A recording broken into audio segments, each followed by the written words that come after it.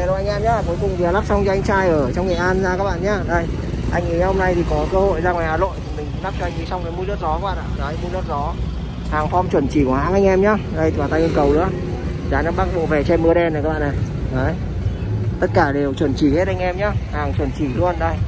Bắn ờ, uh, mui lướt gió bắn keo rất đàng hoàng luôn.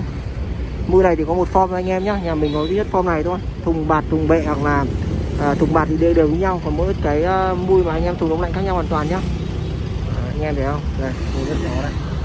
Hàng chuẩn chỉ luôn các bạn thấy không? Con chuẩn luôn. Con này rất đẹp anh em nhá. Con này nhìn xa nó lướt nhìn rất đẹp xe khỏe xe các bạn nhìn này.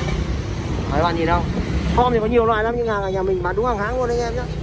Làm đúng hàng hãng luôn. Ok anh trai anh trung cầm cho em vâng anh trung cầm với em hai triệu chín anh trung các bạn thấy không? Sau khi lắp xong cho anh trai ở ờ, nghệ an này. Đó, các bạn thấy không? Đây, muốn nước đây, quay bạn xem toàn cảnh nhá. Đây, lắp xong rồi thấy như thế này. Đấy, các bạn thấy ok không các bạn? Anh em nào thấy ok thì các bạn hãy ủng hộ mình nhá. Theo số điện thoại là 09788 23083 và 09788 2038 anh em nhé đấy đó các bạn cái này che mưa các bạn này. Đấy. hôm nay thì anh thích cái bộ mâm năm chấu nhưng mà nhà mình hết bộ mâm năm chấu rồi. Thì không còn rồi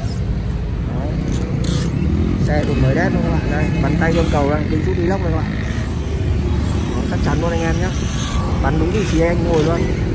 Đấy, còn quan trọng nhất là cái mũi đốt gió anh em thích này. Đấy. Lắp chắc chắn vào anh anh em thoải mái luôn. Đấy, đây đây đây nó sẽ có khe ở anh em nhé khe ở tầm mấy ly để cho gọi là chống ờ, chạm vào cái thùng này các bạn.